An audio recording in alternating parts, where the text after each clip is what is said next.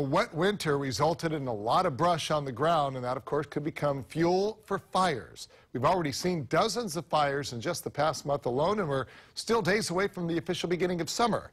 Kimberly Speakman tonight turned to the experts for answers on how we could all protect our homes and property. About 20,000 acres burn each year here in Hawaii. That's according to the Hawaii Wildfire Management Organization. They just released an action plan to give people ideas on how to protect their homes from a fire.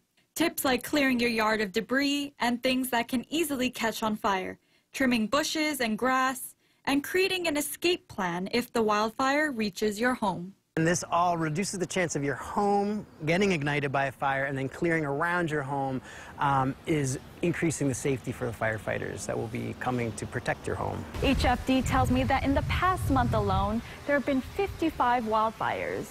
Several HFD crews had to go in and battle the flames for eight of those 55. Kevin Kodama of the National Weather Service says that these recent brush fires could be a consequence of the recent rainy weather.